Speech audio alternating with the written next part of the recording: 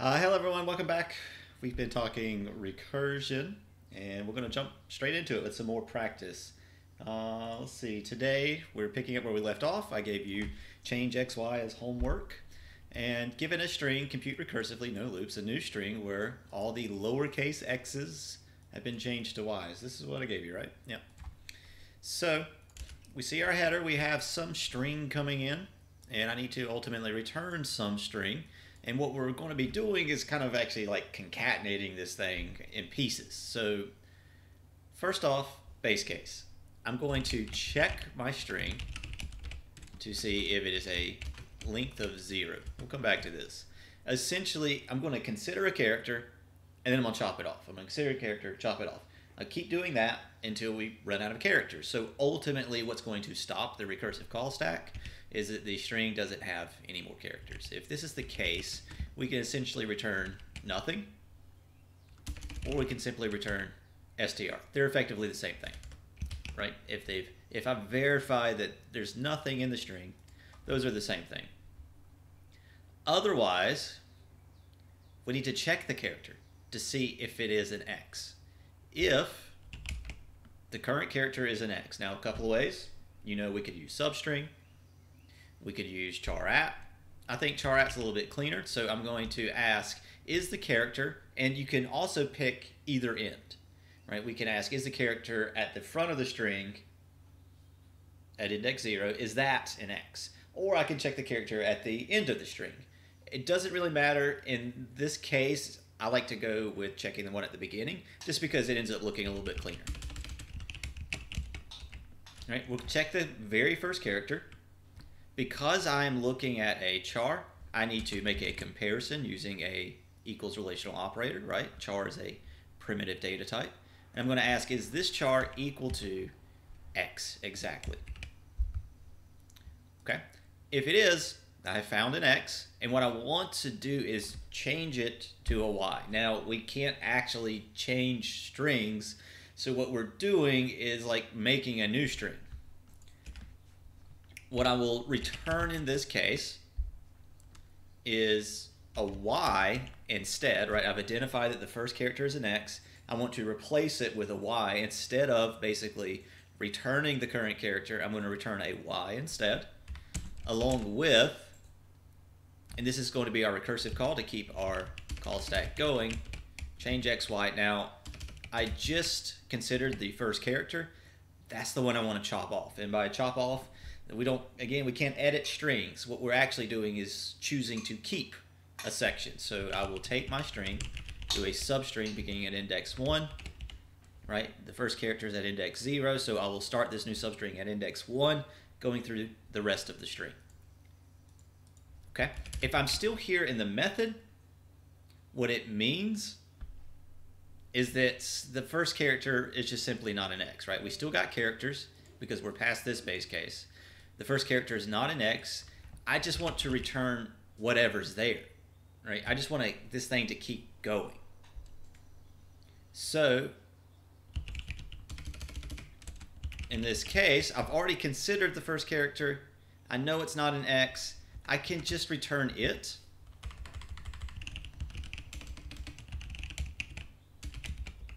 Keep it like it is, but keep going.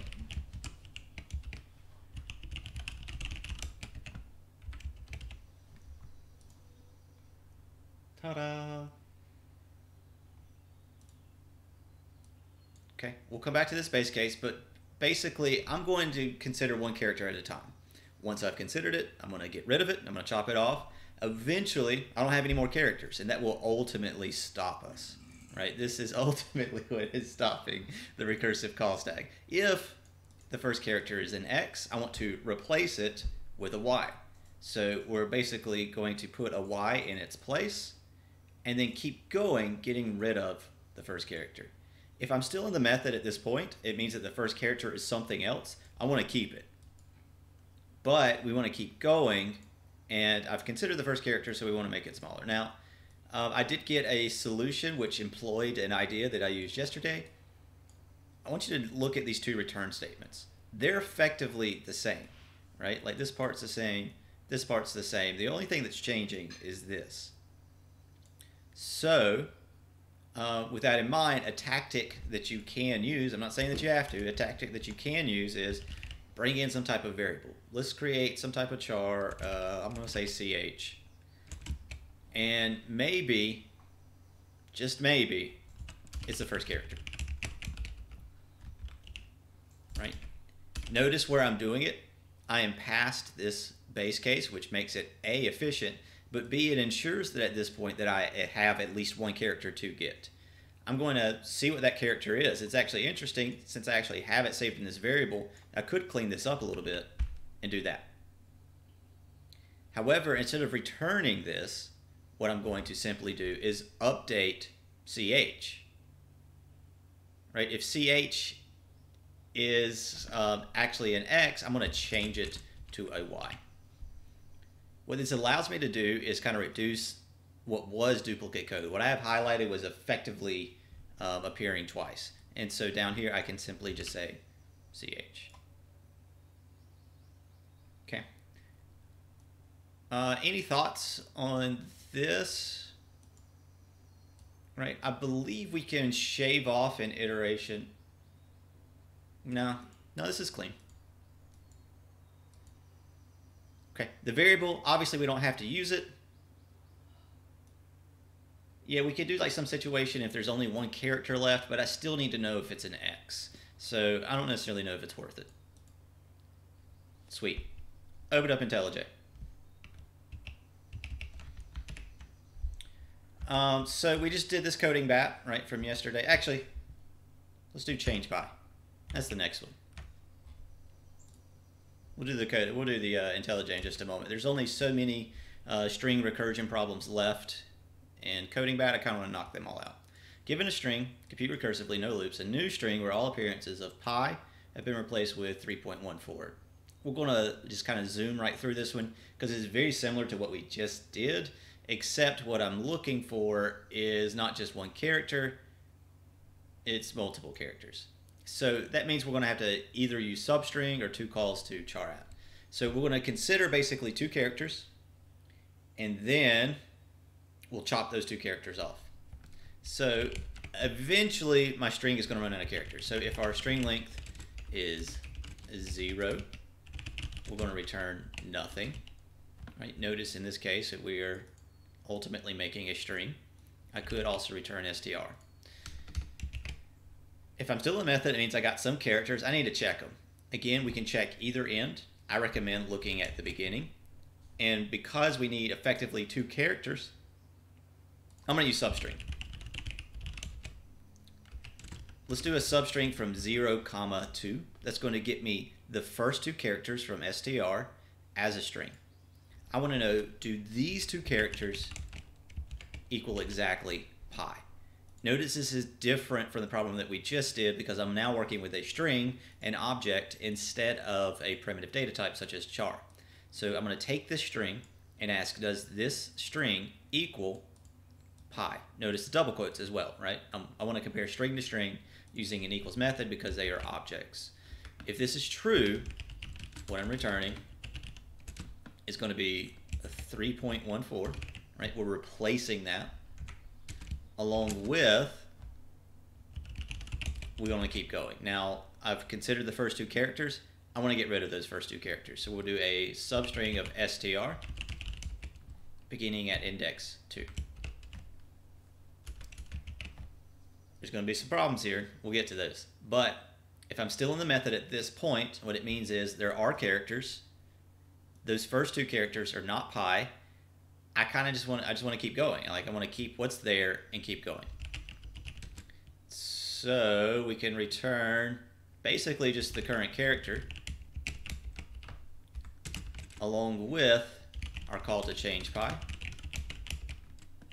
Again, making it a little bit smaller. I just consider the first character, right? I'm returning the first character as it is, making no changes but my string needs to get smaller, so I want to chop that off in subsequent calls.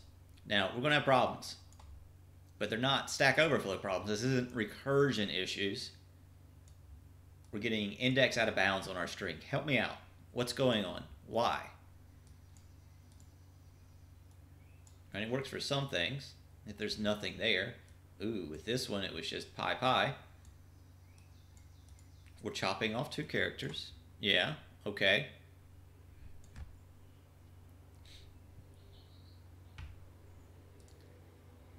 Right? What if I just I don't have like two characters, right? So with this very first call, we have x, okay, that's one character. This pi gets replaced, and then we're down to just x, meaning that that last recursive call has exactly one character. Well, is the string length, with the string has a length of one, is the length zero? No. I then try to chop off two characters or work with two characters, and that's not that's not going to work. We can actually cut this down, right? If I have only one character left, well, there's no way it could be pi. So that's just the end of it. I should just be able to stop there. Cool. Now open IntelliJ. So what we're kind of doing in IntelliJ is looking at some recursive methods that are like useful. The stuff that we're doing in CodingBat, it's really good for kind of getting your bearings, understanding what's going on, but you don't necessarily see the usefulness of it. Now, recursion, mm, useful. Recursion is an alternative to iteration. I'd argue that we don't need it. Uh, I'd also argue that we probably should have it. We're going to see in a future lecture uh, just like the quintessential example of why recursion should exist. Uh, that being said, we're going to look at some methods like reverse, right? Reversing a string. That's pretty useful, right? It's it's something that you could um, you could actually take and use somewhere else. So we're going to actually code this in IntelliJ. So we see our method here. The class doesn't really matter that much. I just need basically a place to put it. Uh, we're not really working with objects here. We're just going to put a we're going to do a bunch of static methods. Notice this is underlined, indicating that it's static. But this method reverse is going to take in a string, ultimately return a string, and the string that it is spitting back out is the same string but in reverse order. Sweet. All right, let's go. How's everyone doing today?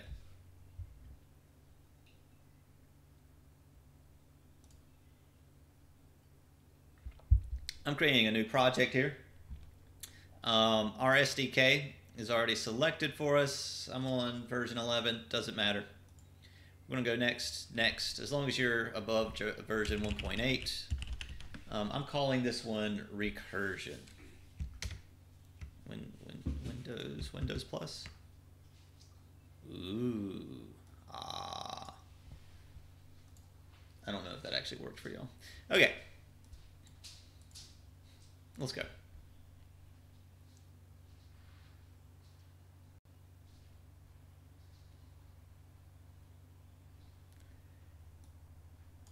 I'm going to expand my project folder. Let's right click on the SRC, make a new Java class. Uh, it doesn't really matter. I'm calling it recursion. Calling it recursion. Mmm, this is pretty. Let's go ahead and throw in our main method. I'm going to use our short key of PSVM. We'll come back to that. I'm now going to take this method header, or this method signature, translate it into a method header. We got public, static, string, reverse, and reverse is going to take in a string. I'm calling that str.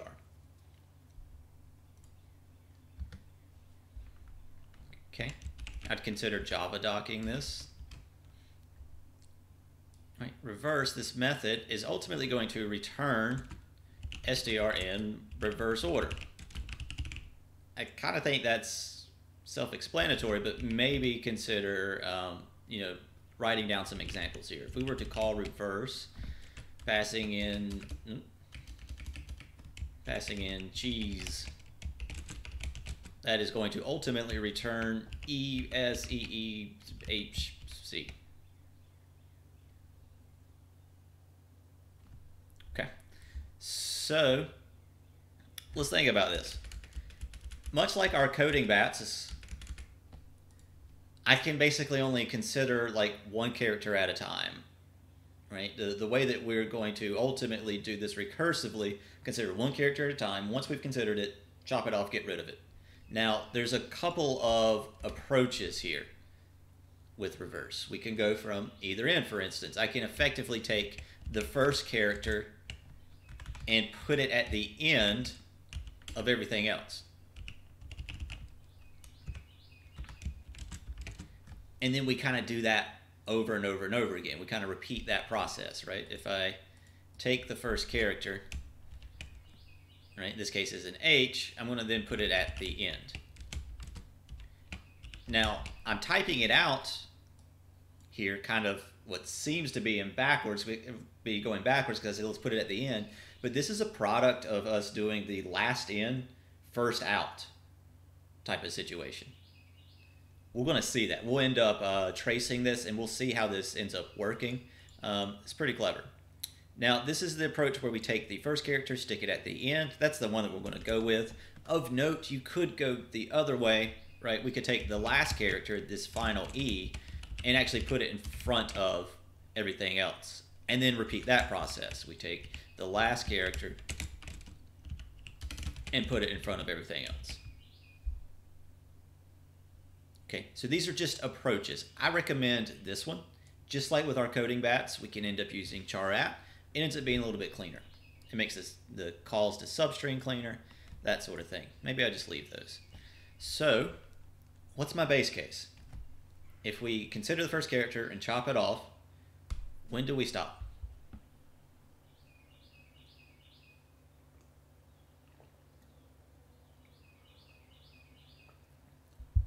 when there's only one character. Sweet. We could, in theory, stop when there's no characters. I like the response of stopping when there's one character because what that is going to do is shave off a method call on the recursive stack.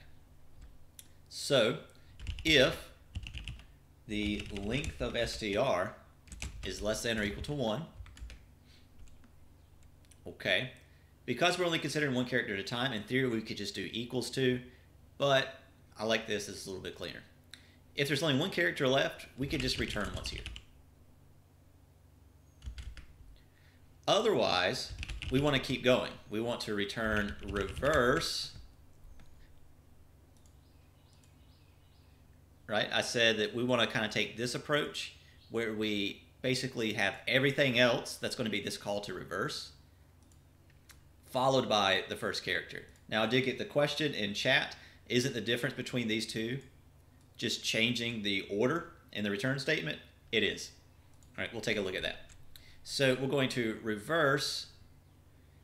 Um,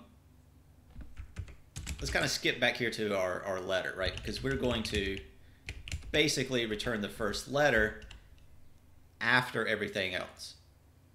So here's my call to reverse. I've considered the first character at this point. I need to chop off the first character. And the way we do that is with substring, beginning at index 1. We'll start at index 1, go through the rest of the string. I kind of think this is it. So let's hop up here. We're going to sout, and we need to call this thing. I'm going to reverse, and let's use our example of cheese. You can go and give me some other suggestions and uh, in chat.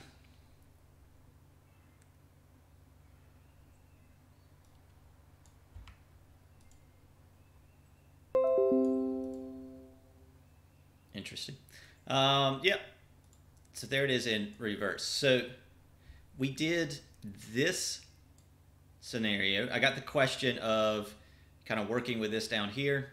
Isn't this approach just kind of flipping this? Well, if I was to just flip this, I'm just going to get the exact same car, or the exact same car, the exact same uh, string um, that I had before. Sorry, it, it's inevitable that everyone says race car here because it's a palindrome and it's the same forwards as backwards. And it's actually very funny. I kind of did this on purpose, but our next method we're going to write is determining if a string is a palindrome. So anyway, to uh, honor my fans, we'll do a jiggly Jigglypuff.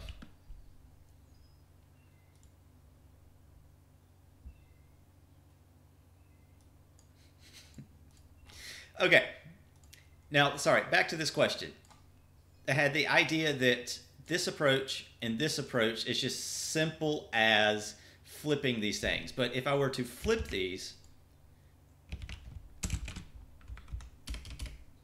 right, and we take Jigglypuff and run it through the reverse method, I'm just getting the exact same string back, right? It's it's keep this character and then do this. What in order to kind of do this approach, what I need is effectively the last character.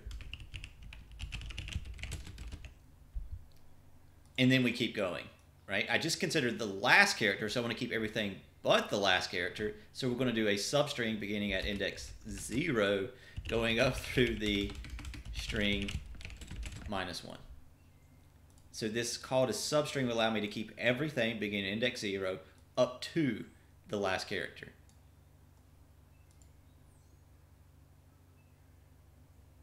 And there's our Jigglypuff in reverse. So um, hopefully you see this is kind of a monstrosity, right? It's this approach. We take basically the last character and then continue on with everything else. But we're accomplishing ultimately the same task, and this just looks nowhere near as clean. This is why I'm suggesting that when we're doing these things, it's and where we can go from either end, it's much better to start at the beginning because we end up with a cleaner solution. And I'm going to jump back to said solution. Sweet.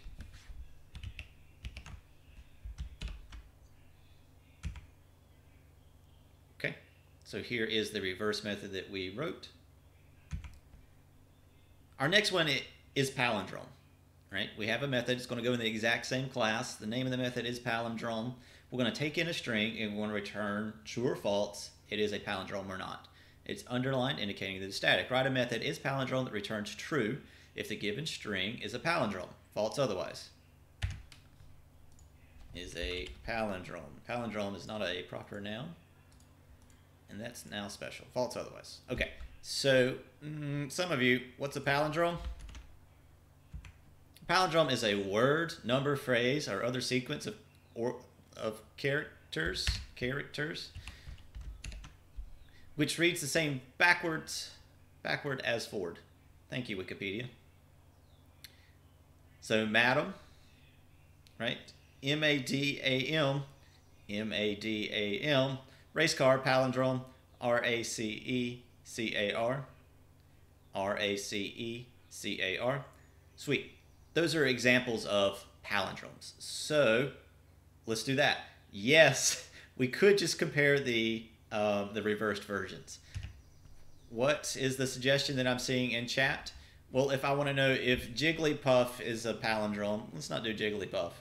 I want to know if race car is a palindrome. Race car. Um, I just need to know, does it equal race car in reverse?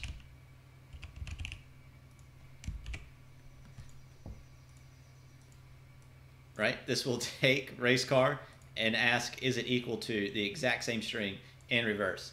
Yeah. Okay, listen. That's not the point. We're practicing recursion. So I got public static boolean is palindrome. Uh, case sensitivity, I'm just not very worried about case sensitivity. You could take that into account. Um, I would honestly handle it in this case with a with a precondition. Let's look at that in just a moment. So we're going to take in a string, just calling that str, and this method will return true if str is the same forward as it is backward. Turns true if str reads, reads, reads the same forward as it does, as it does, something like that. So we're going to take in a string, right? Let's think about this. What we want to do is effectively look at the characters on either end right? Uh, so let's throw in an example here.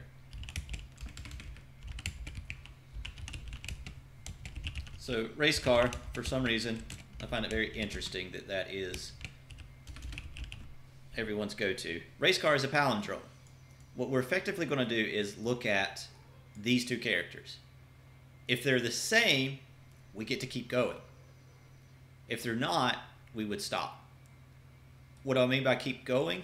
Well, we're going to basically, once we consider these two R's, we want to chop them off so that we're then working with just that subsection. I would then want to know, are these two characters the same? If they are, we'll chop them off and we'll keep going. Right? I would then want to know, are these two characters the same? If they are, we will chop them off and keep going. And right away, I hope you recognize our base case. What's our base case?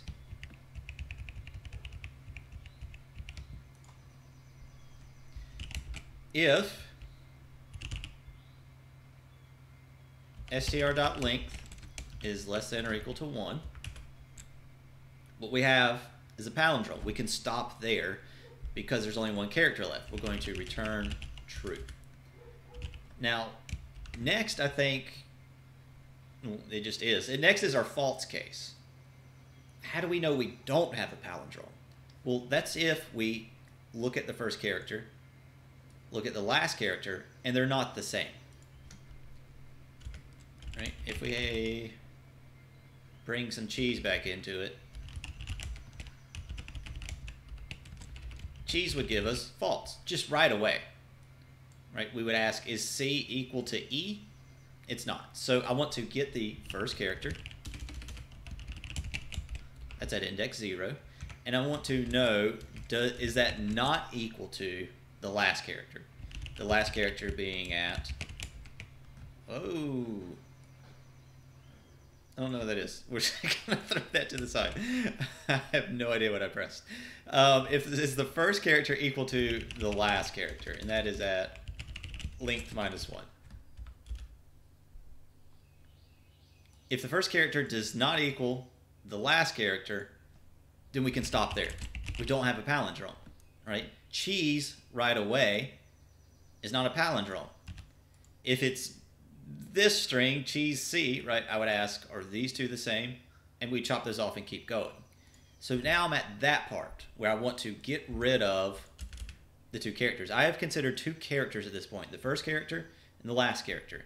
I want to get rid of those things we're going to call is palindrome.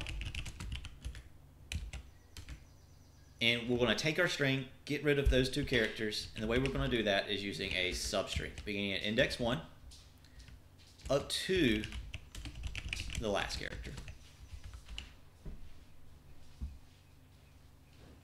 Let's try it out. I meant to trace this one, by the way, so we'll do some tracing on a reverse in is palindrome. So, is race car a palindrome?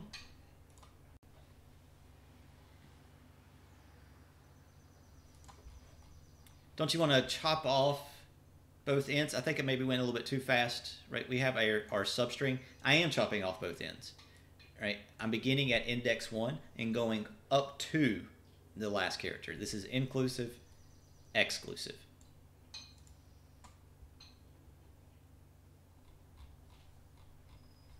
All right, race car. That's a palindrome. Is Jigglypuff?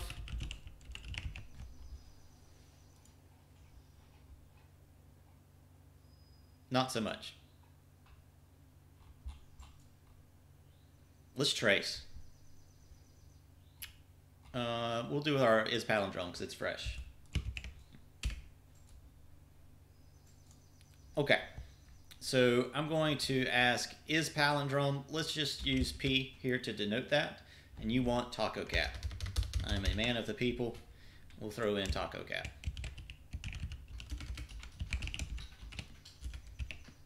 Okay, what we're going to ask is, is our string length less than or equal to 1?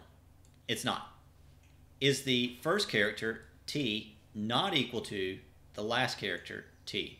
Those are both the same, so this is false. We'll skip over that. We put a recursive call into the stack, palindrome, passing in uh, a substring of str beginning at index 1 up to the last index. So our string at this point is Maybe it's easier for me to copy, paste, and delete. Let's step inside this call. We would ask, is our string length less than or equal to 1? That's false. Is the first character, A, not equal to the last character, A? That's false. We'll skip over that. We'll come down to our recursive call where we say is palindrome, getting rid of the first character and the last character.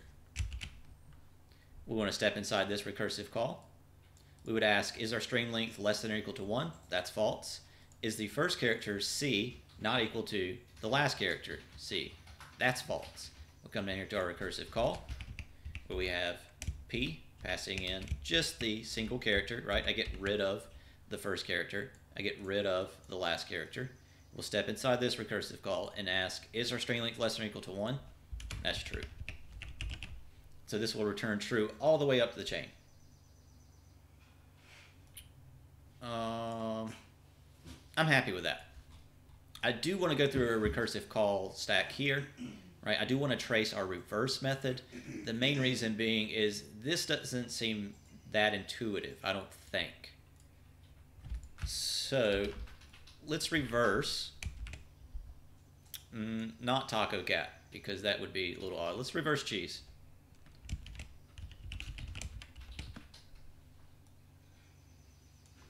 Okay, I'm going to step inside of this method call. We'll ask, is our string length less than or equal to 1? That's false. We come down, we have reverse. We're going to do a substring of cheese, right? Beginning at index 1, that's this index, going through the rest of the string. It's H-E-E-S-E. -E. We're then going to tack on the first character. That's just a C.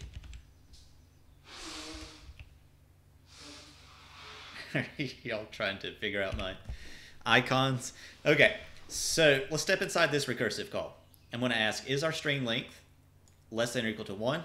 It's not. So we're going to hit our reverse, where we're going to reverse str.substring 1, right, reverse. We'll take a substring of this beginning at index 1, going through the rest of the string, that's E-E-S-E, -E, plus H. Step inside this call. Is our string length less than or equal to 1? Nope. We're going to reverse doing a substring of ESE plus the E. We'll step inside this call. Our string length is not less than or equal to 1.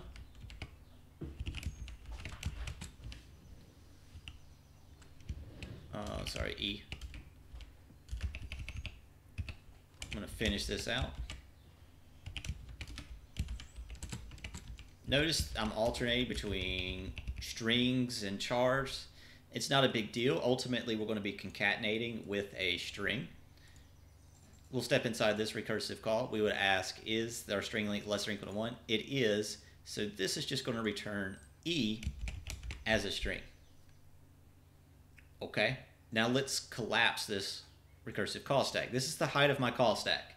The last thing that I added is going to be the first thing to actually execute, to actually finish. So I'm going to, I know what this evaluates to. This evaluates to just simply E. Okay, I can now solve this one. I know what it evaluates to. It's E plus S, right? So here's what I'm talking about. This is a string. We're going to concatenate it with a char. In theory, those are two different data types, and you can't add them together, but Java's going to handle the conversion for us and basically produce a string. So what we're going to get out of this is a string ES. I can now solve this one. We're going to take ES, concatenate it with E.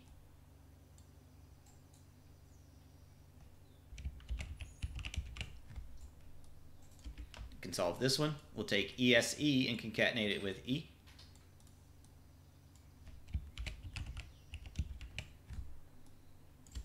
figure out this one. We'll take this and concatenate with H.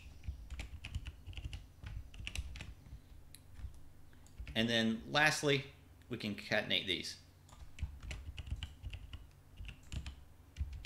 Man, I hope that's right. Did we do cheese in reverse? Sweet. Okay, so I don't think this is naturally intuitive right? This is the approach we went with, but the only reason why it actually ends up working is that recursive call stack. Effectively, the last thing that gets added is the first to actually be processed, and so we end up doing it kind of in reverse. Okay, um, so these are some examples of some recursive methods, right? Is palindrome, that's pretty useful. Reverse, that can be pretty useful. I wanted to kind of show you some of that. We'll do some more stuff in IntelliJ in the coming days. I'm going to leave you with a CodingBat. There's only one string CodingBat left to my knowledge, and that is no X. I want you to do this one. Give me your solutions, DM them to me, and uh, CodingBat, and I'll see you soon. Let's chill.